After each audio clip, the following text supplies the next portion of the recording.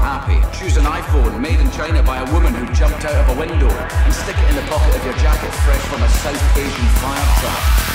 Use Facebook, Twitter, Snapchat, Instagram and a thousand other ways to spew your file across people you've never met. Choose updating your profile. Tell the world what you had for breakfast and hope that someone somewhere cares choose life, life, life, life, life, life, life, life, life, life, life, life, life, life, life.